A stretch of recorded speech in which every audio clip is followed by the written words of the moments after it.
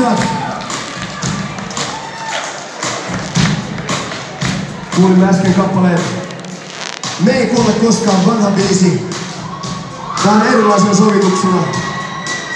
Ja sitten viimeisimmältä levyltä tämmönen, mä itse kutsun sitä proosan runoksi, Miten mulla meni. Me soitetaan vielä yksi biisi Scorpionilta, tää on nimeltään Lastenhuone.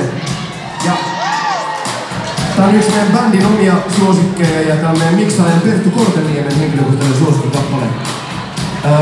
Tää on biisi, jossa Timo soittaa tuommoista lapsteel-kitaraa, jota myös kissalaudaksi kutsutaan.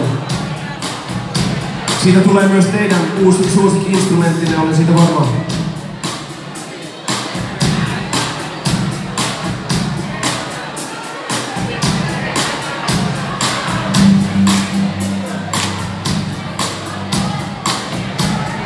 Kaikki hyvin siellä?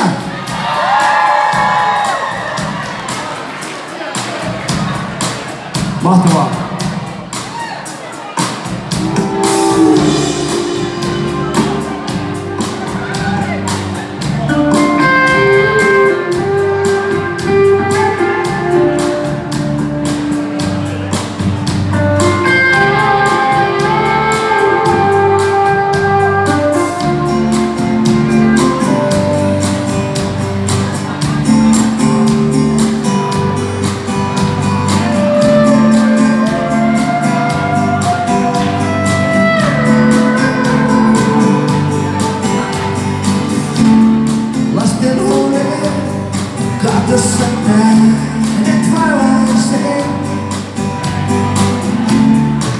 tu valor varios en mí.